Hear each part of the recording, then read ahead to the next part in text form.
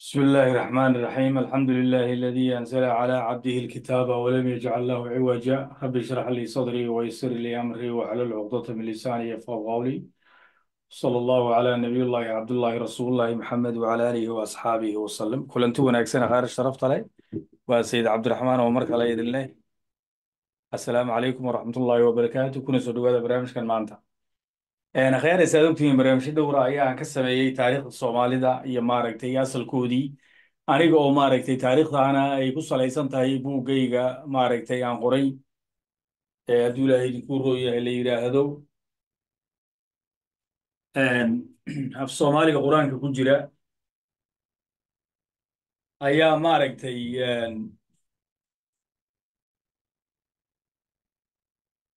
af soomaaliga qur'aanka ku jira waxa weeye buu ka warramaya macnaha sida luqadda soomaaligu ay ka mid tahay luqadihii la odhan jiray aslu carabiya.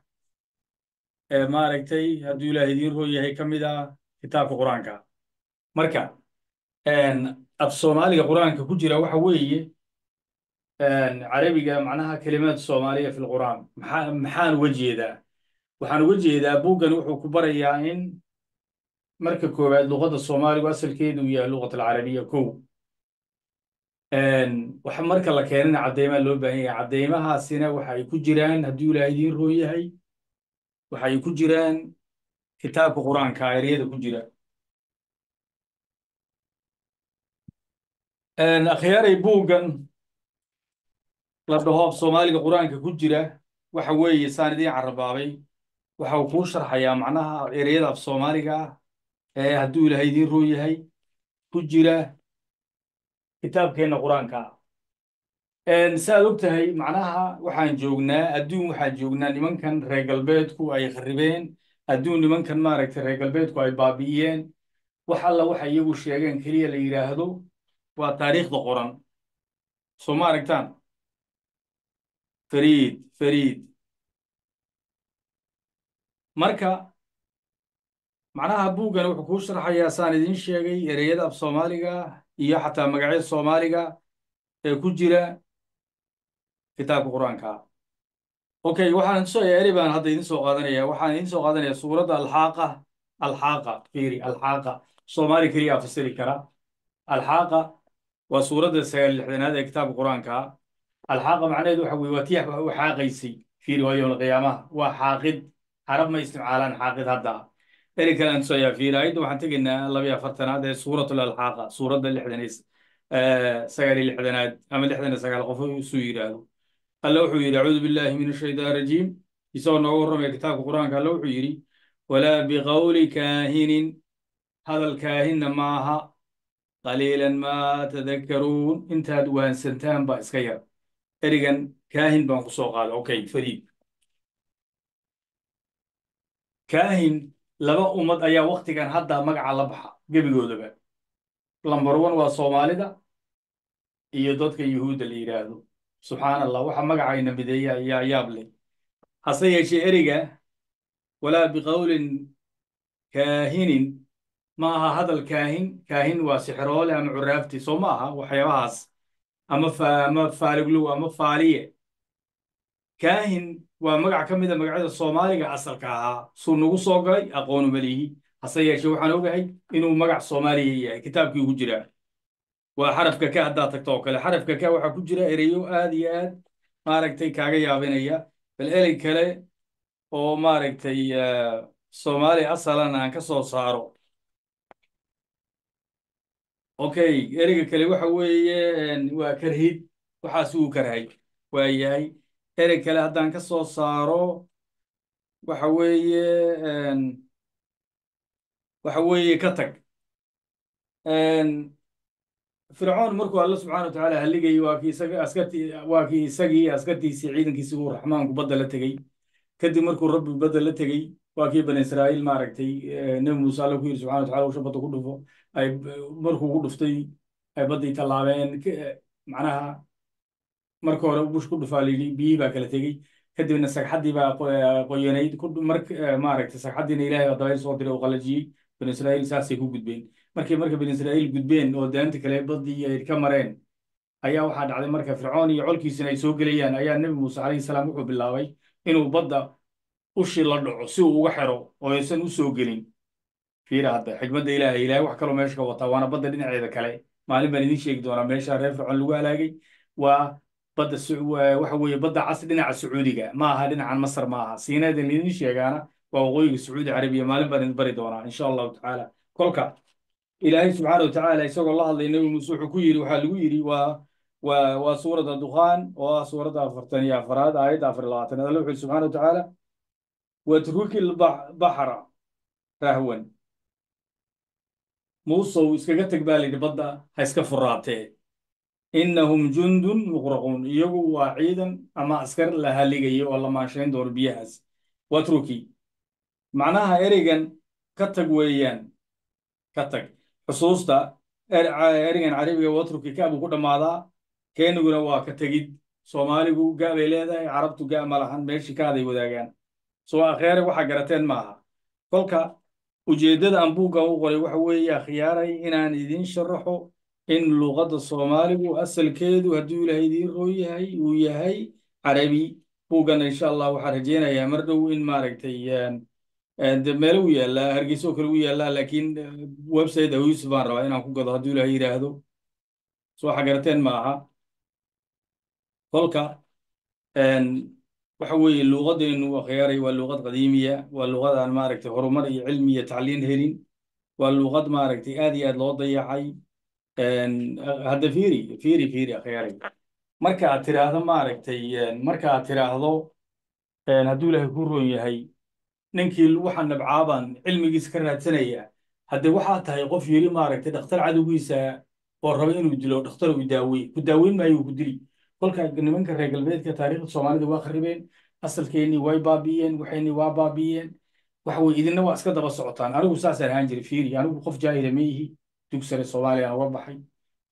Maraykanka markaan tegey maaragtay bilowgii saddex iyo sagaashankii waxa weeye saddex sano ayaan ku jiray ayaan college ku jiray. Luqadda ingiriiska si fiican baan u najaxay masar baan imid kadib laba kun shan iyo tobankii.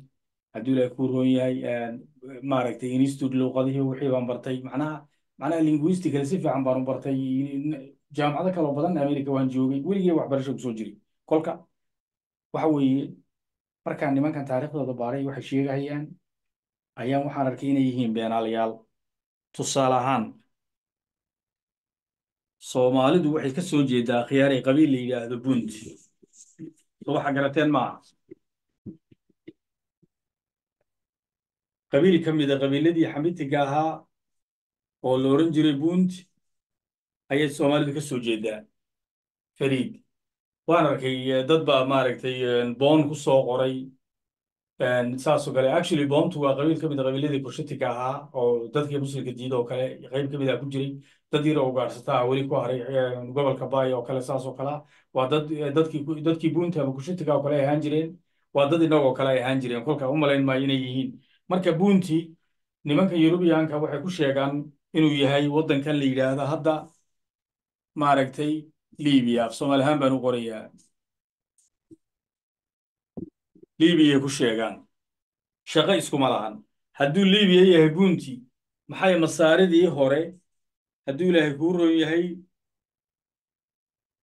masaaridii hore maxay soomaaliya ugu sheegeen inuu yahay dhulkii buunti soo ma aragtaan. Soomaaliya waxay ku sheegeen inuu yahay dhulkii buunti waa laanaf buuntay yidhaahdeen shaqo kuma lahan kolka halkaa waxaan ka fahmay markaan baadhay nimanka yurubiyaanku been bay ka sheegeen taariikhdeena dadka soomaalidu waa dadkii lahaan jiray geeska africa waxaana la oran jiray ummaddii buunta la oran jiray. Fariid fariid. Magacan kale ee marka tiri ingiriiska wuxuu idinku yidhi buush baa tihiin seed u tiraahdaa ninku nacab iyo fariid fiirsada halkan ingiriisku wuxuu yidhi dadka geeska africa dhammaantood macnaha ingiriis markaan ku leeyahay waa dadka english speaking. Waa ama five eyes kuwaana dhaho. Waa america ingiriiska australia. Dadkaas wey dadka adduunyada hogaamiya. Lambar labaanuna waxa weeye waa faransiiska. Jarmalku iyagu waa iska lahaystayaal oo dagaalka labaad baa la qabsaday. Nin waalan baa loo soo diray hitler la yidhaahdo wuu gebagabeeyey fiiri hitler waxaa maalgeliyey wall street. So wall street ma taqaanaan?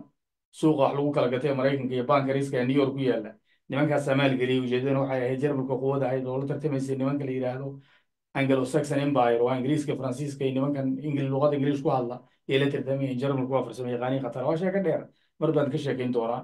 So ninkan waalan waa la maalgeliyey wax kasta nimanka yuhuuddan iyaguna lug ku lahaayeen waayo falastiin bay rabeen.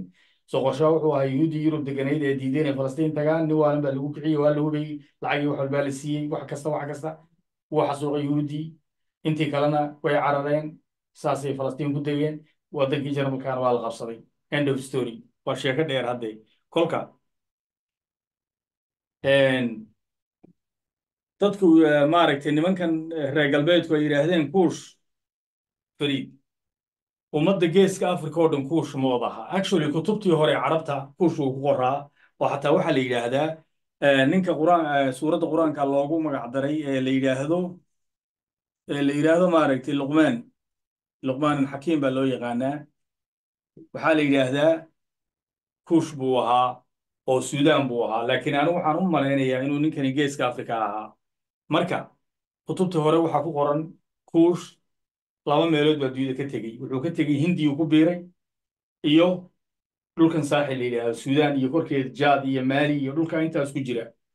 Geeska africa marka yaa deganaa marka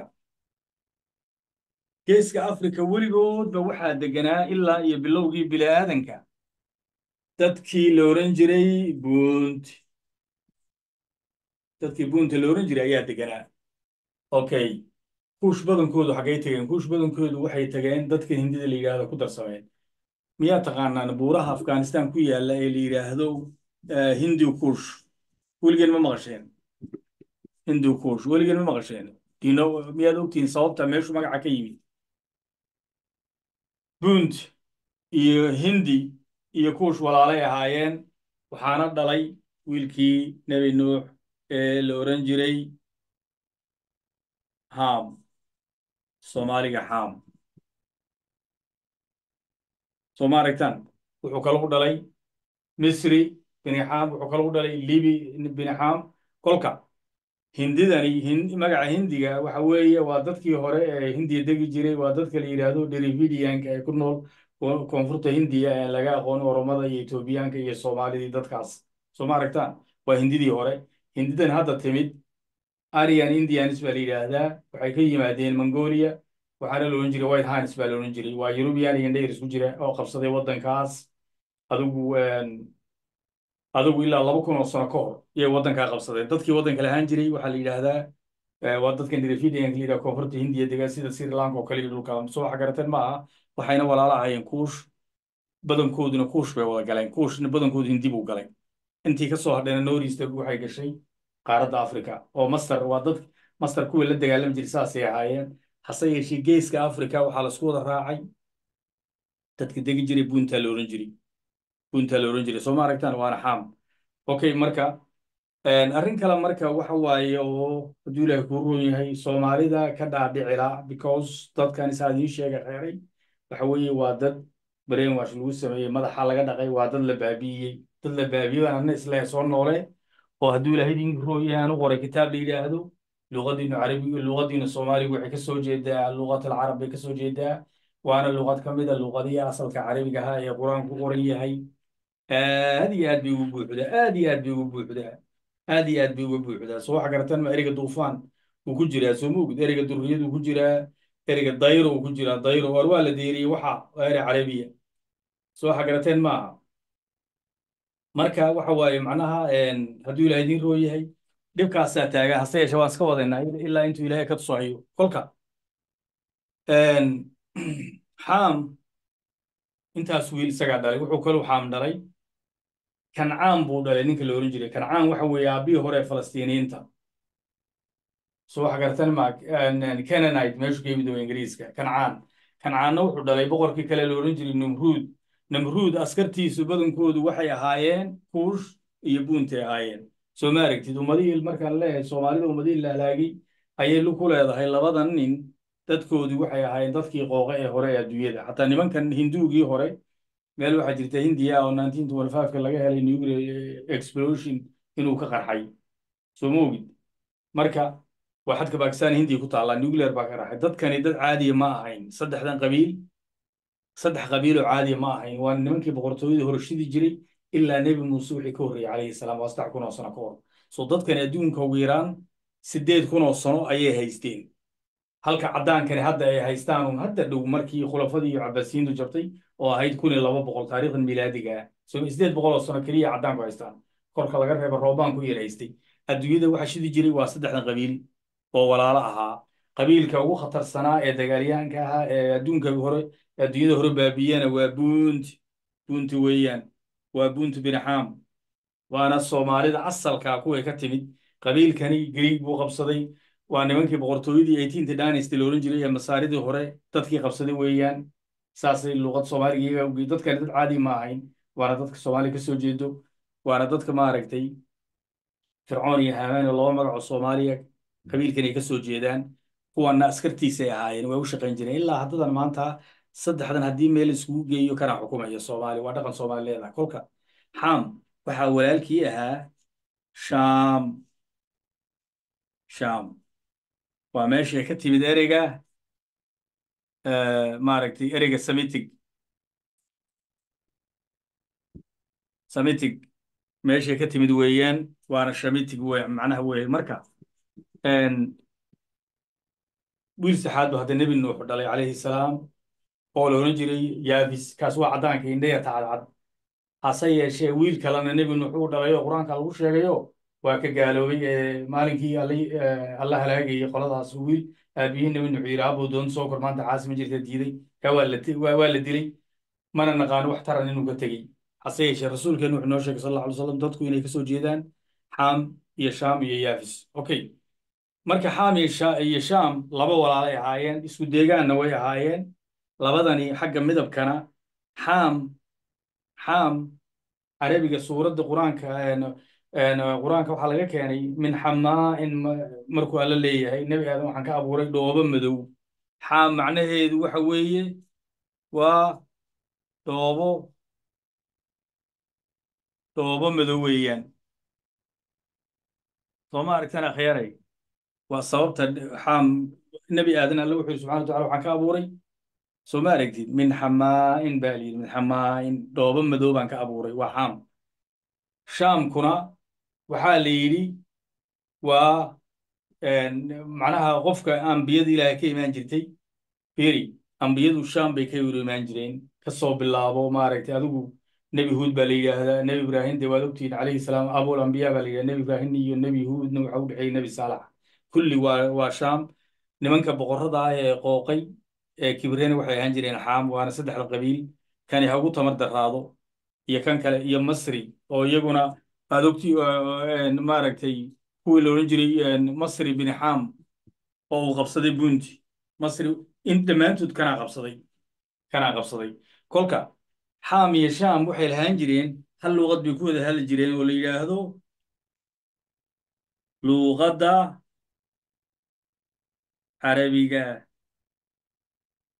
Arrintanaan rabaa inaad aad u fahantaan oo dadka badankiisu ay ka noqdeen damiin fideoganiyow miyaas dhaadhaafisaano laba daqiiqa saddex daqiiqa kadib maya waxa haddaadan wada daawan dhibaata kaa soo gaaraysa waayo meelaad ka bilowda mataqaanid maad iska samirtid oo intaa yar dulqaadatid midda kale hadda fideoyada waan yareeyaa waxa waaye because dulqaad yaradiinna aniga haddii cilmi lai sheegahayo waxaan macno iguma leedahay saddex saacadood inaan kor fadhiyo oon dhegeysto oon wakti ku habboon schedule baa la samaystaa wakti jadwal baa la samaystaa ad waxaan ku baranaysid adoo jidsa bilmatali safar dheer ama markaan safar dheer gelaya oo kale wixii awriyahan diyaarsadaa maaragtay ama video aan daawanaya ma daawanaya laakiin waan maqlaya waan dhegeysanaya kolka. Macnaha wakti maaragtay convenient oo ku habboon samayso.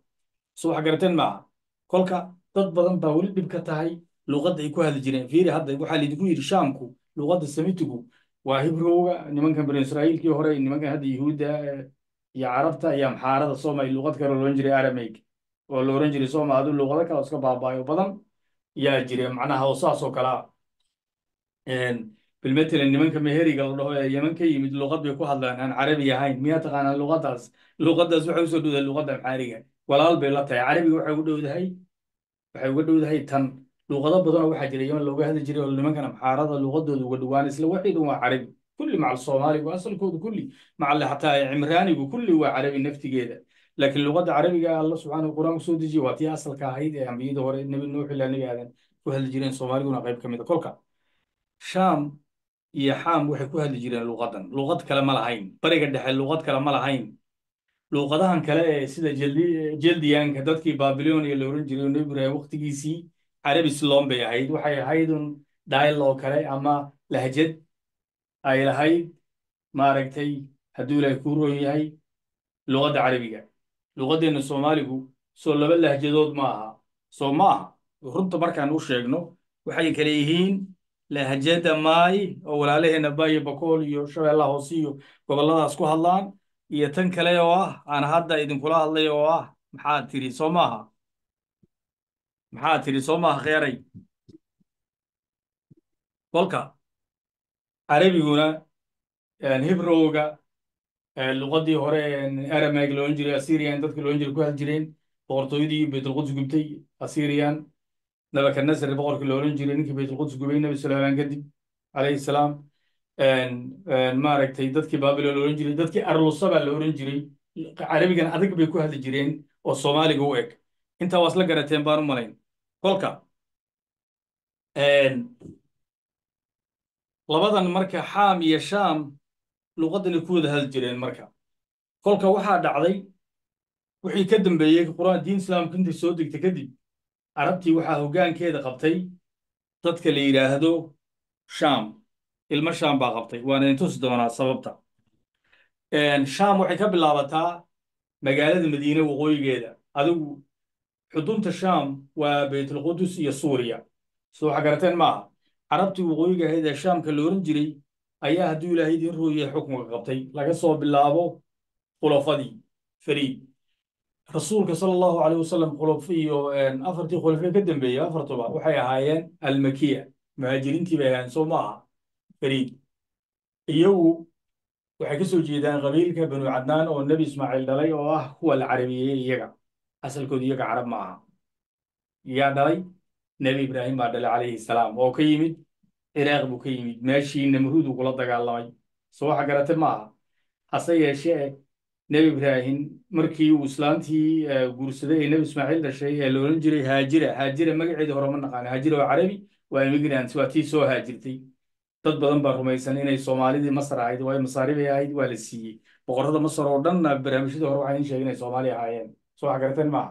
Kolka islaantii meeshay timid meesha markay timid maka markay timid maaragtay waa kii wiilkii yaraa ay la timid. Nebi nebi hadduu ilaahay kuu roon ismaaciil. Dadkii carabta ahaa qabiilkii carabta ahaa ee meesha deganaa ayaa luuqadda baray. Qabiilkaana waxaa la oran jiray waxaa la oran jiray jurhum.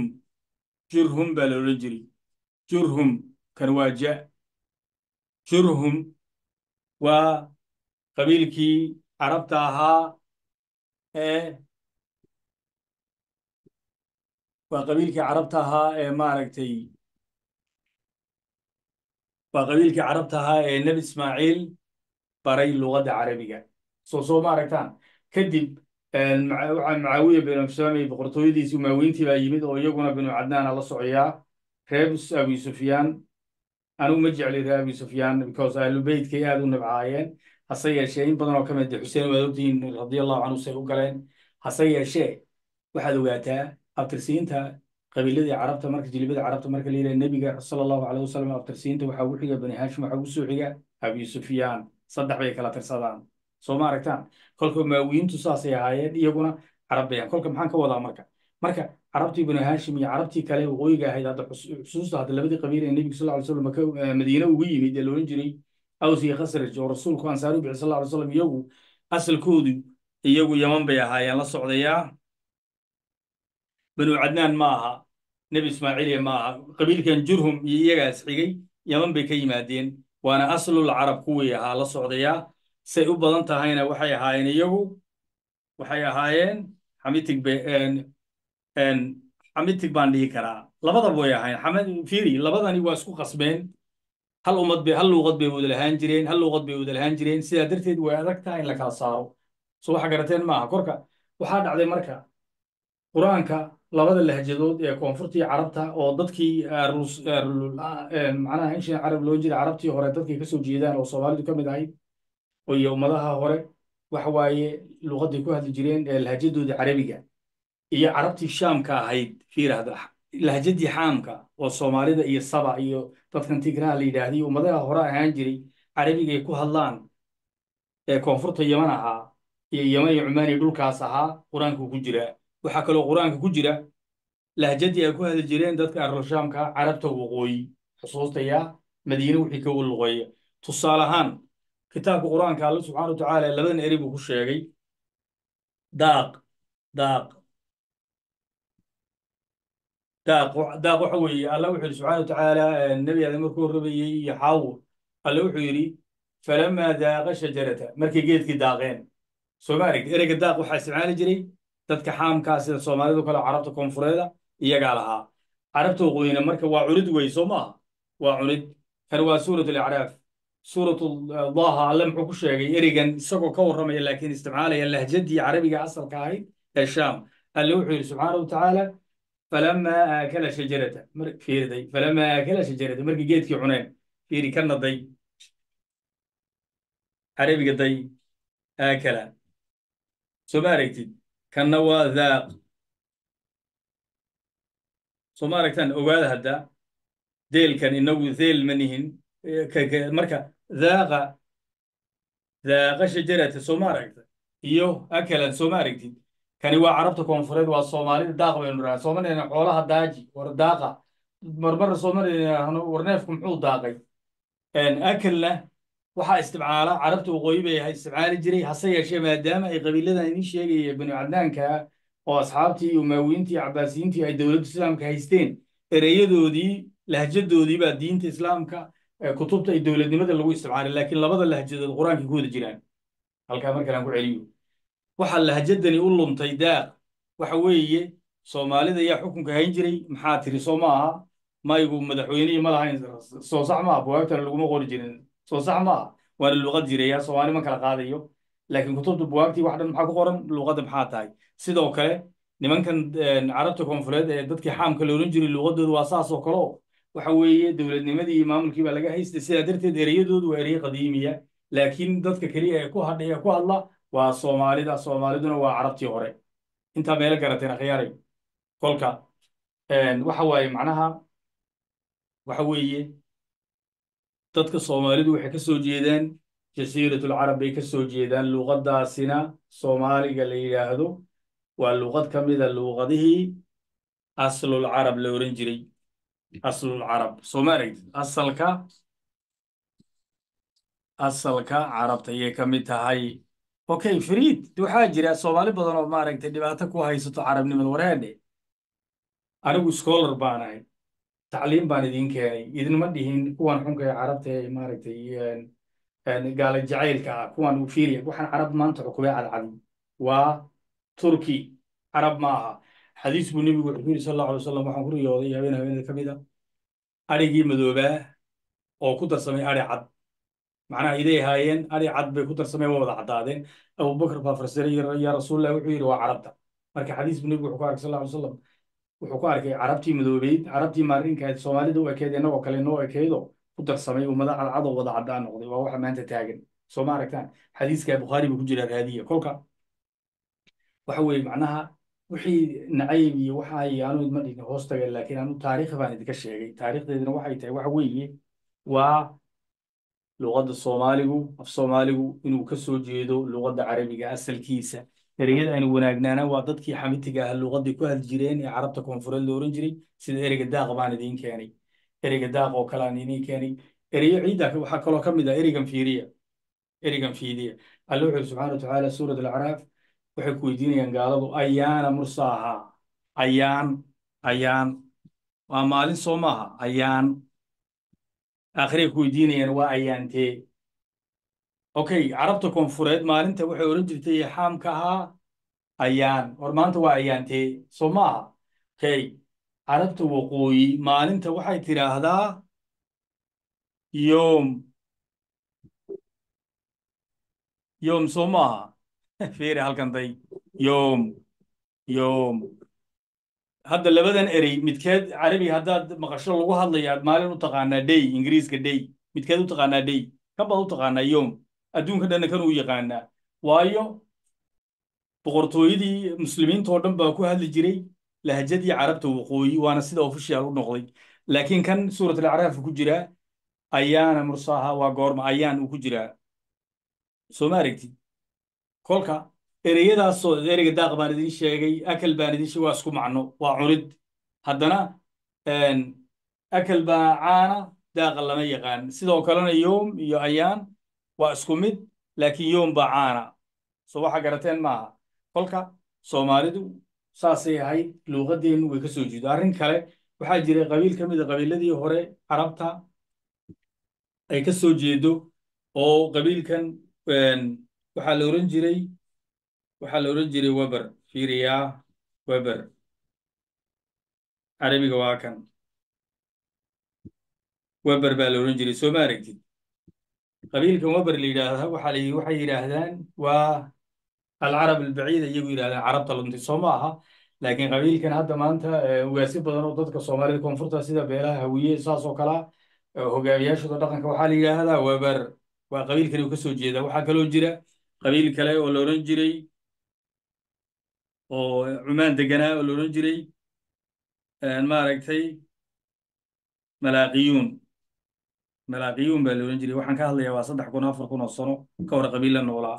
Okay malaaqiyuun baan yara qalloociyey waayo sabuuradda qaabka u taalla malaaqiyuun waxa waaye macnaha waad ogtiin iyadana macnaha beelaha wiye soomaalida kale koonfurta sida digli milflo kale ugaasadooda dhaqanka iyo suldaanadooda boqorradooda waxaa la yidhaahdaa malaaq halkan ay ka timi labadan ereba qabi ummad sheegan karta magacaas wuu lumay wabar. Soomaali keliya wabar. Ama haddaan ee ka dhiga halkaa wabar labadaba wuu yahay. Wabar waxaa keliya sheegan kara waa soomaali keliya. Carabtu beri horu ka tegey laakiin kutubta taariikhda anu markaan asar buuggayga baaray librariga aan helay qabiilo badan baan helay aad u fara badan. Waxaan helay qabiilo soomaalidu ay isticmaalan jirtay laakiin adduunka lagu sheegin. Kolka akhyaray waxa barnaamijka anoo soo koobahaya. Waxaan rabaa inaad daawataan mar dambe oodaan su'aashan mar dambe way igu soo celceliseen waa igu soo celceliseen. Aniguna waa nabcay dadka aan maaragtay waxbarashada attention siin fiiri fahamka waa las dheeryahay qof ilbiriqsiba wuxuu ku fahmaa ardayda waxaa la yidhi waa saddex nooc arday markuu macallinku dhigayuu yeedhinayuu fahmaa ardayna markuu macallinku sharxayuu fahmaa ardayna marka la yidhaahdo shaqadan gurigiina u qaata oo layli ka dhigta homework. waxaa ingiriiska ugu dhaho ee la soo noqday saddexdaasay kala ardaydu kolka waana wahay saas dhibaato ma lahan hase yeeshee waxaa dhibaato ah in wixii adoo daawan intaad taytalka video aragta ama saddex daqiiqa afar daqiiqa isdhaafiso inaad hadhow su'aalo beenaa macnaha iga qaad soo weydiiso anigana waqti iga qaado adna waqti iska qaadid. Kolka haddaan mar kale ku celiyo soomaalida waxaa ka soo jeeda qabiilka la odhan jiray buunti. Qabiilkan buuntina wuxuu ka soo jeedaa aabihii xaam dadkan xaamkuna waa dadkii degi jiray koonfurta yaman. Iyagii shaamna waxay ku hadli jireen hal luuqad bay ku hadli jireen looran jiray luuqat alcarabiya. Waxaa luuqada ay kala aragtaanna hibrowga iyo amxaariga iyo maaragtay aramay mid oran jira assyrian ku hadli jireen iyo maaragtay waxaasoo dhan waxa weye waxay ka soo jeedaan luuqadan ma ogsoontihiin tigraha nimanka la dhaho hadda luuqadooda waxay yidhahdeen waa semitic. Laakiin waktigii ay classificationka samaynayeen oo nimankan beeraalayaasha galbeedka tigraha luuqadooda waxay ku sheegi jireen inay afrio maaragtay dadkan eastern kushayd bay yidhahdeen waa beriga kushitig ay dhaheen.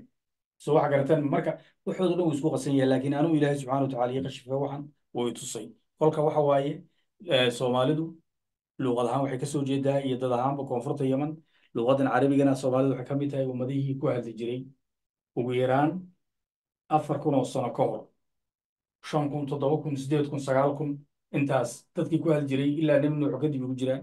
Mar kale haddaan ku celiyana xaam iyo shaam meesha jasiiratul carab yidhaahda ilaa kor waqooyiga ciraaq iyo suuriya ilaa koonfur yaman ilaa dhulkaasa ilaa suqandara ilaa geeska afrika ayay wada degi jireen waxayna ku wada hadli jireen hal luuqad waana sababta luuqaddu carabigu ay weli ugu jirto luuqaddeena soomaaliga ee ah hiddii dhaqanka soomaalida khayr intana mar kale kulmi doono waa sida cabdiraxmaan sheekh xasan oo idin leh assalaamu calaykum waraxmatullaahi wabarakaatu